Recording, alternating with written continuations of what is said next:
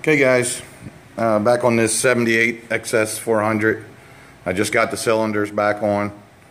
And uh, this is, if you need to catch up to speed, check out the other videos. It had a, uh, a bad head on it, so I'm replacing the head. Here's the replacement head. Got everything switched over.